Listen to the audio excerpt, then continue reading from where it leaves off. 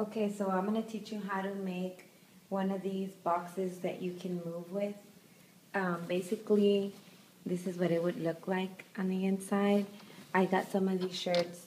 These are small shirts, so this is like the perfect box that you can um, hang it with. So I'm gonna show you how to do it. Okay, what you need is a box. I, this is an extra large from Home Depot, but you can pretty much get any box anywhere. Um, this is a rod. I bought this one at Walmart for like a dollar seventy-five cents. It says eighteen inches through twenty-eight inches in, uh, the width. It's pretty cheap. Um, then you need some tape and some scissors.